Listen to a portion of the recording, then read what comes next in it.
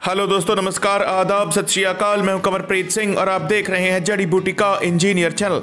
दोस्तों, आज हम बात करेंगे, अगर आप अपनी शुक्र धातु को बर्बाद करेंगे, उसको वेस्ट करेंगे तो क्या इससे आपकी उम्र कम होगी या नहीं? तो अगर आपको लगे वीडियो अच्छी, इसको लाइक और शेयर ज़रूर करें चैनल को सब्सक्राइब ज़रूर कर दें और बेल का आइकॉन तो ज़रूर दबा दें।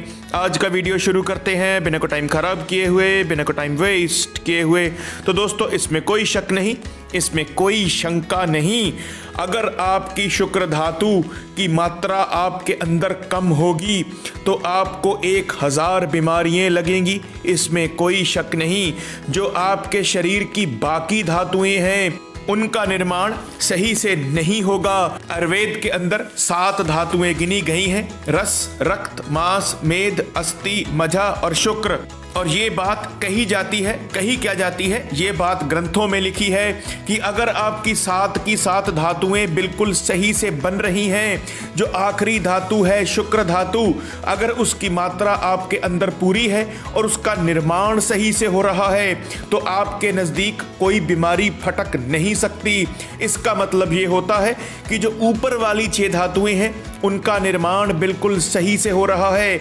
लेकिन अगर आपके अंदर शुक्र धातु की कमी होगी तो फिर ये साइकिल सही से नहीं चलेगा। जो आपकी पाकी की बाकी सारी धातुएँ हैं, उनका निर्माण सही से नहीं होगा। जिन लोगों को धात गिरने की समस्या होती है, पेशाब के साथ सफ़ेद पानी गिरने की समस्या होती है। ऐसे लोग बहुत तेज़ी से कमज़ोर होते हैं। उनका वज़न बहुत तेज़ी से गिरता है। उनके चेहरे पर कोई नूर नहीं होता। मैं ये बात डंके की चोट पर कहता हूँ कि अंग्रेज़ी डॉक्टर बहुत बड़े बेवकूफ़ हैं, जो धात गिरने को बीमारी ही नहीं मानते। जिस इंसान की धात गिरती हो, पेशाब के साथ सफ़ेद पानी गिरता हो अगर वो इंसान इसका इलाज समय रहते नहीं करवाए तो ये बात पक्की है कि उसको आने वाले समय में बीमारियाँ लगेंगी ही लगेंगी।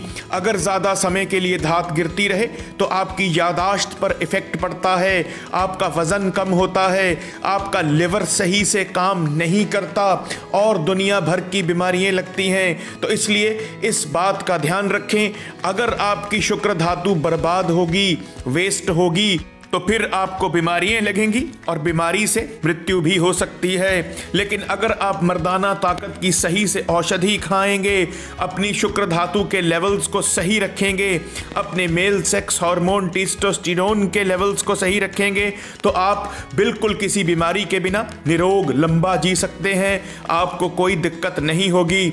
जिस इंसान को सेक्सुअल प्रॉब्लम होती है, ये बात तय है कि अगर ये दिक्कत लंबी चल जाए तो फिर आप आपको कोई ना कोई और बीमारी लगनी तय है तो आगे आपकी मर्ज़ी है। अगर आपको लगे वीडियो अच्छी, इसको लाइक और शेयर ज़रूर करें। चैनल को सब्सक्राइब ज़रूर कर दें और बेल का आइकॉन तो ज़रूर दबा दें। तब तक के लिए शब्बा खैर, नमस्कार, वंदे मातरम।